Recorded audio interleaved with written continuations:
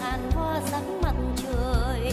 Nghe không gian mênh mông trao lời ca yêu thương đến với muôn người đến với muôn đời xuân ước vọng ngàn năm lại tới. Nghe lòng vui với những nốt nhạc của mùa xuân đang sao xuyến bao tâm hồn. Một năm khởi đầu từ mùa xuân một đời khởi đầu từ tuổi trẻ.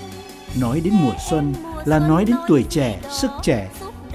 Với nghệ sĩ nhiếp ảnh trọng pháo mặc dù năm nay ông đã bước sang mùa xuân thứ 80 thế nhưng những cảm xúc về mùa xuân trong tâm hồn nghệ sĩ vẫn tràn đầy sức trẻ niềm đam mê sáng tạo chưa bao giờ vơi cạn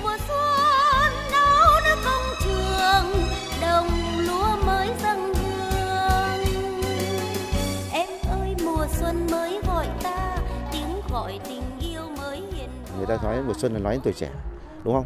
Thế nhưng như chú pháo thì lúc nào cũng là tuổi trẻ thì phải.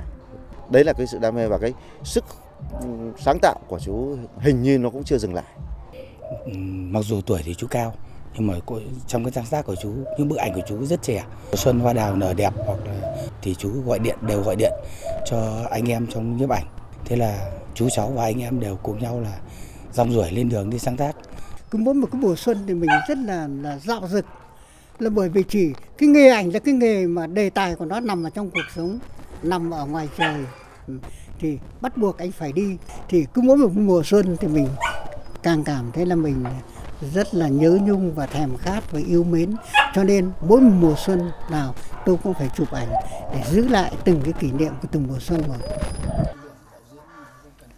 80 tuổi đời, trên 60 năm cầm máy, nhưng theo nghệ sĩ nhiếp ảnh trọng pháo Thành công của ông không phải là những giải vàng giải bạc tại các cuộc thi, các cuộc triển lãm ảnh trong nước và quốc tế, mà thành công lớn nhất của cuộc đời ông là đã ghi lại được những khoảnh khắc đẹp mang tính thời sự, tính thực tiễn của cuộc sống.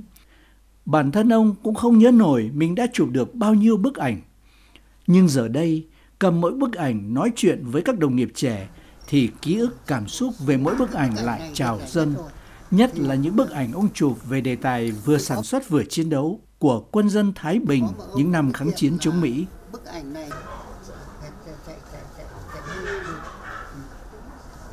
Đây, xin giới thiệu với các bạn là cái bức ảnh này là cái bức ảnh mà chụp ở trong chiến tranh. Bức ảnh là cô nữ dân quân ở Đông Minh cả đang nuôi con thơ, rất năm chiêu ừ. nhưng mà đây cái sự quyết tâm. Bức ảnh này là ở Thái Thượng, lúc bây giờ là cả nhân dân là bắt đầu ra là đào đất lên xong để đắp đê, trồng tre, làm cái tuyến phòng thủ. Đấy. thế nhưng mà thuyền vẫn ra khơi để đánh cá. Nỗi buồn của chiến tranh, tức là một người phụ nữ phải cam chịu, đến khi chồng mình về thì lại đèo đèo cái xe tay, tức là buộc buộc cái dây thừng vào cái xe tay của anh thương binh rồi kéo chồng về nhà. Cái ảnh này là một à, cô đưa con đi học cũng là thời chiến tranh tức là đây chính là cô Nguyệt Ánh và đây là nghệ sĩ nhân dân Trung Hiếu mỗi bức ảnh của ông đã chụp không chỉ là ảnh thời sự mà đó còn là những tác phẩm nghệ thuật thể hiện sự nhạy cảm của tâm hồn nghệ sĩ trước cuộc sống. Bên cạnh chụp ảnh về đề tài chiến tranh là những tác phẩm mang dấu ấn trong phát triển kinh tế, xã hội, văn hóa của Thái Bình. Cái bức này giới thiệu với các bạn nhé. Bức ảnh này là bức ảnh bác Trường Trinh về Thái Bình. Thế thì mình là đi dẫn bác võ an ninh đi về Thượng Hiền. Thế thì cái bức ảnh này mình đề là góc độ võ an ninh. Niềm đam mê và khát vọng sáng tạo đã đưa bước chân người nghệ sĩ đến với mọi miền đất nước.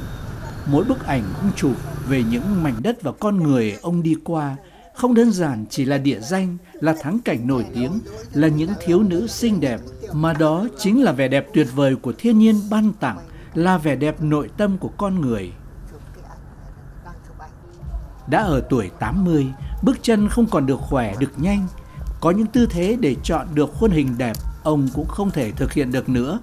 Nhưng bước chân ấy vẫn không dừng lại. Triền đê, dòng sông Trà Lý trước cửa nhà Sóng nước êm đềm lấp lánh trong những chiều hoàng hôn, Tất cả là những nguồn cảm hứng, Là đề tài